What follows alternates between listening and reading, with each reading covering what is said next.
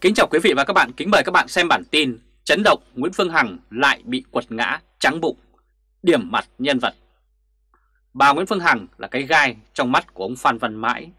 Các quan chức nhà nước Việt Nam không ai không sợ cái miệng của bà.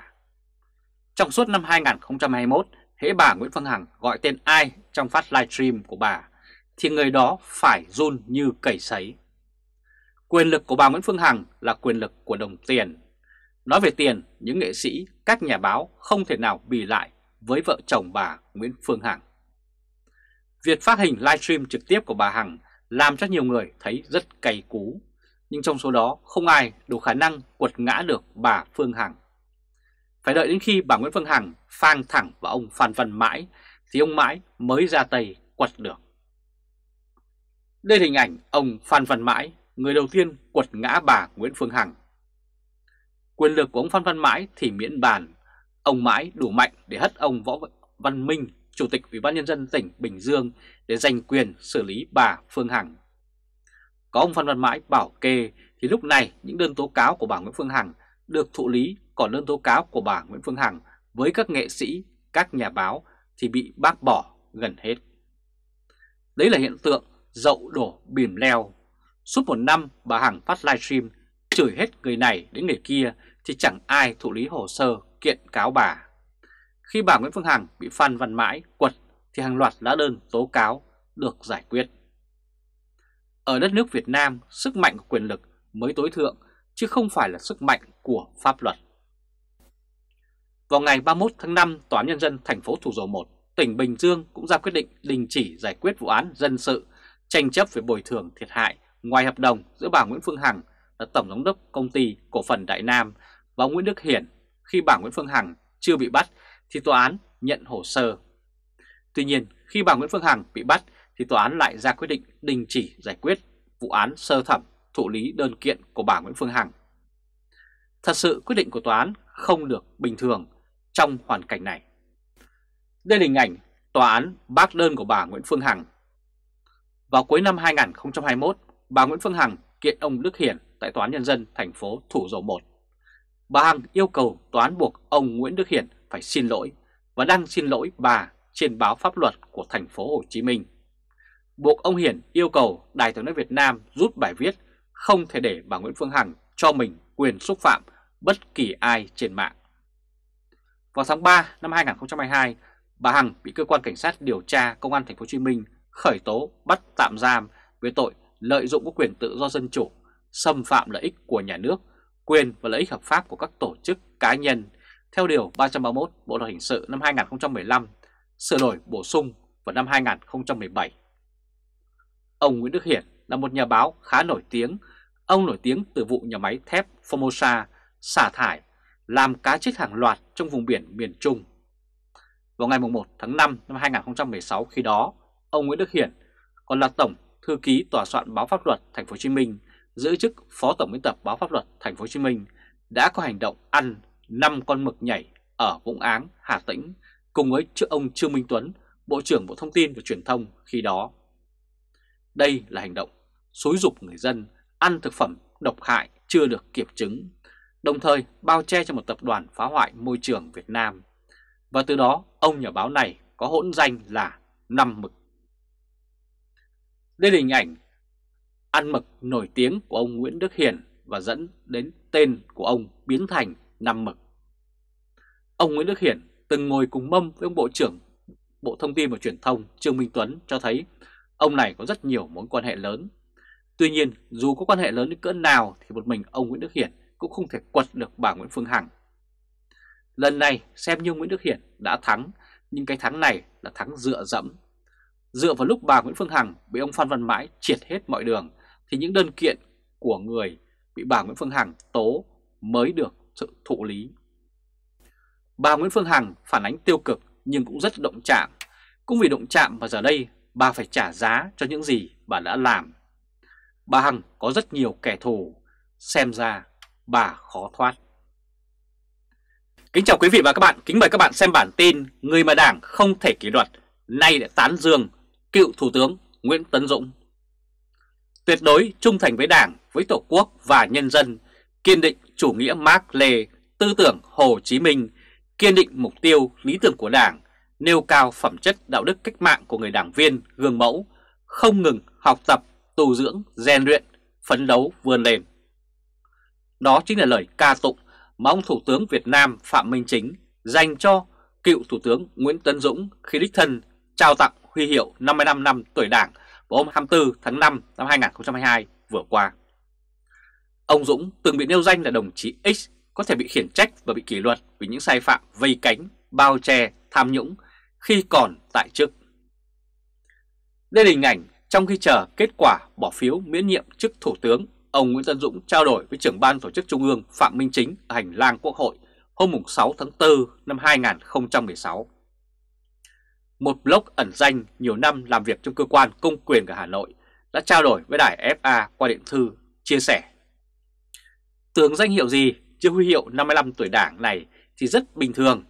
Chế độ này vẫn hay làm như thế. Khái niệm đồng chí X chính xác là do ông Tư Sang tức là Trương Tấn Sang đưa ra và nói trên báo hẳn hoi. Chứ ông Trọng không làm việc ấy. Bài phát biểu của ông Chính ca ngợi ông Dũng thì nó cũng chỉ là khuôn sáo của chế độ, cũng không đáng bàn. Theo nhà báo độc lập Võ Văn Tạo, việc trao huy hiệu 55 năm tuổi đảng cho cựu Thủ tướng Nguyễn Tân Dũng là trò đãi bồi, khách khí. Ông nói nếu ông Dũng là người đạo đức như thế thì tại sao cộng đồng mạng của ông ta bằng những biệt danh không hay ho như sâu chúa, đồng chí bà X. Kết quả đại hội mà ông Dũng phải về vườn nó rất mâu thuẫn với những lời ca tụng đó bởi vì xét về tuổi và so với ông Nguyễn Phú Trọng thì ông Dũng trẻ hơn, khỏe hơn, ai cũng thấy điều đó. Thế thì tại sao ông Dũng phải về vườn còn ông Trọng mà làm tiếp, thậm chí làm sang cả nhiệm kỳ thứ ba, trong khi điều lệ đảng quy định tối đa là chỉ có hai nhiệm kỳ mà thôi. Rồi trao tặng huy chương, nói những lời hay ý đẹp như thế này là rất giả dối, rất phi thực tế, cũng không phù hợp với nhận định của những người dân và cán bộ đảng viên có hiểu biết. Qua đấy người ta cũng thấy công tác tổ chức kế cận của Đảng Cộng sản Việt Nam là có vấn đề. Đây là hình ảnh ông Thủ tướng Việt Nam Phạm Minh Chính trao huy hiệu 55 năm tuổi Đảng cho ông cựu Thủ tướng Nguyễn Tân Dũng vào hôm 24 tháng 5 vừa qua.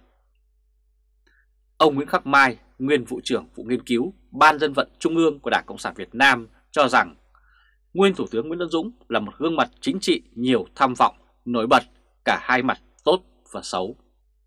Ông nói, ông cũng là người thông minh, câu, không đổi tình hữu nghị viển vông, lấy chủ quyền biển đảo mà ông nói ở Singapore là câu nói đáng ghi nhận.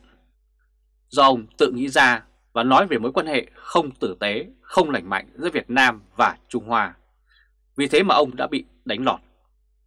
Nhưng lớn nhất người ta dựa vào để đánh lọt ông chính là cái ông ấy bảo kê hoặc trực tiếp dính líu đến tham nhũng, của chìm, của nổi, rồi con cái này kia. Chính trị Việt Nam thời ông Nguyễn Tấn Dũng rất phức tạp, họ đánh nhau không chỉ về vấn đề ý thức hệ, nhân cách, công an việc làm mà còn là xu hướng chính trị.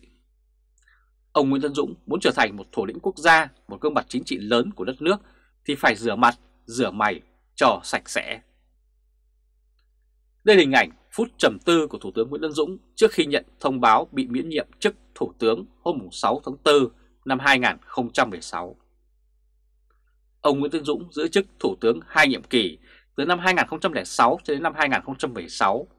Trong những năm của nhiệm kỳ thứ hai, ông bị chỉ trích vì những thất bại trong quản lý kinh tế với việc làm ăn thua lỗ của hàng loạt tổng công ty nhà nước, vốn được đề cao là những quả đấm thép dẫn đến tình trạng lạm phát bên cạnh sự tăng trưởng kinh tế trì trệ. Khi ông Nguyễn Tân Dũng rời chính trường sau đại hội của Đảng lần thứ 12 năm 2016, thì hàng loạt quan chức chính phủ thân cận với ông đã bị kỷ luật, thậm chí đi tù với những cáo buộc tham nhũng hoặc cố ý làm trái quy định của nhà nước.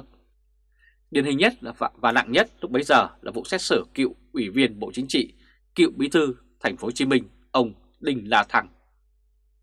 Trước đó vào năm 2012, bản thân ông Nguyễn Tân Dũng cũng thoát án kỷ luật tại Hội nghị Trung ương Đảng Cộng sản Việt Nam. Giới chức của Đảng Cộng sản Việt Nam chỉ dám gọi ông Dũng là đồng chí X một cách công khai mà không thể gọi tên thật. Trở lại cùng thông tin của blogger ẩn danh chia sẻ tiếp. Chuyện đang nói là thời điểm rất đặc biệt này có nhiều người người ta cũng nhân chuyện huy hiệu 55 năm tuổi đảng để bắn tín hiệu gì đó liên quan đến nội bộ bên trong cung đình. Trước hội nghị lần thứ 5 vừa rồi thì có thông tin và chưa có điều kiện kiểm chứng là chính ông Bà Dũng đã viết tâm thư cho Bộ Chính trị đề nghị đồng chí Nguyễn Phú Trọng ở lại.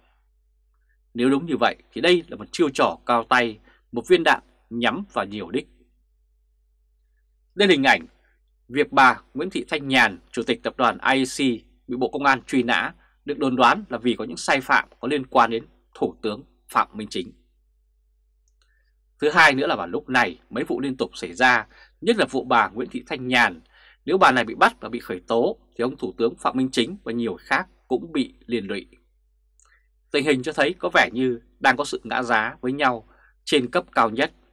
Vụ IC rồi chuyện để ông Chính trao hiệu 55 tuổi đảng cho ông Dũng được hiểu như người ta đang thủ những con bài mà lúc cần thì đặt ra để ngầm tác động để tiếp tục gã giá với nhau về các vấn đề phe phái nhân sự sắp tới. Đặc thù chính trị Việt Nam nhất là nhân sự cấp cao thể hiện qua những quan hệ nhập nhằng phức tạp như thế. Tóm lại, theo blog giấu tên, đừng tưởng người dân không hay biết gì về những chuyện chung quanh đằng sau những việc từ bình thường như ông Nguyễn Dân Dũng được trao huy hiệu của Đảng cho đến những việc lớn là sự tranh giành thanh trừng quyền lực ngôi thứ tứ trụ lãnh đạo sắp tới của chế độ đang diễn ra hết sức khốc liệt. Hơn nữa, mọi chuyện liên quan mà dư luận bàn tán suy diễn đều ít nhiều phản ánh đúng mặt trái của hậu trường chính trị của Việt Nam. Blogger này đã kết luận như vậy.